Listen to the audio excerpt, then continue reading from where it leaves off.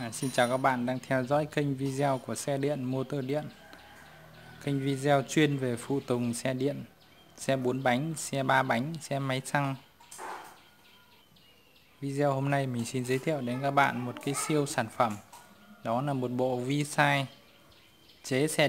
À, Bộ vi sai này rất nhỏ gọn. À, Lực tải thì có thể lên đến 5 đến 700 kg và có thể lắp được tất cả các loại nhông phanh đĩa. À, chỉ cần à, gia công lại là có thể lắp đặt được nhông và phanh lên. À, các bạn nào thì à, à không à, có máy tiện thì có thể hàn trực tiếp lên cái bộ vi sai này.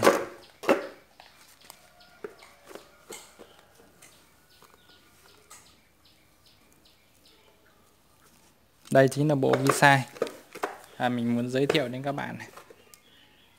Đấy. Bộ visa này hoạt động hai trục độc lập này.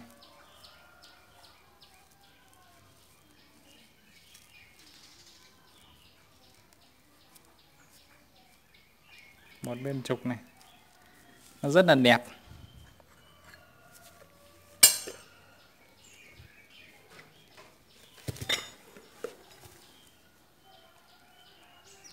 À, bộ visa này sử dụng là cái trục 16 răng. Kích thước rất là nhỏ gọn và trên này à, nó có bốn cái à, bật ốc xuyên qua để vít nhông với lại à, phanh. Các bạn chỉ cần lắp bên này đĩa phanh bên này đĩa nhông là có thể làm được một bộ visa rất là đẹp. Sử dụng cho những cái xe cỡ nhỏ thì rất là tuyệt vời kích thước bộ visa này chỉ có 8 cm thôi chiều dài. Và đường kính của nó chỉ có 7 cm thôi. Rất là nhỏ gọn nhưng lại rất là khỏe. Chỉ trong lòng bàn tay thôi. Có thể làm cho xe đạp cũng được xe ô tô cũng được xe bốn bánh cỡ uh, chung và cỡ nhỏ đều rất là ok. Rất là đẹp nhé đấy.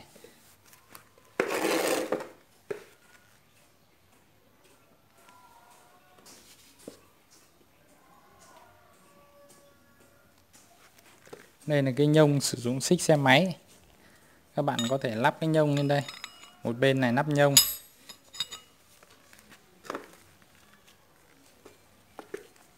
Bên này nắp đĩa. Rất là đẹp.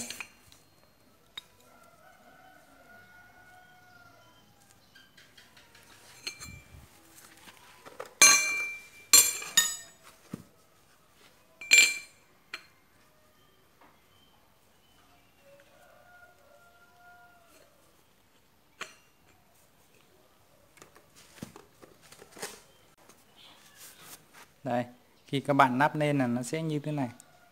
Đấy rất là đẹp luôn.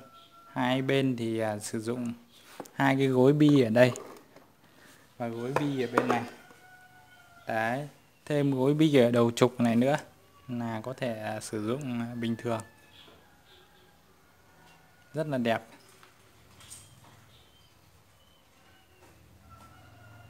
À, nếu như các bạn sử dụng à, nhông bé thì à, có thể có nhông xin cam to hơn một tí nữa thì có nhông ờ, xe ruồi máy xăng.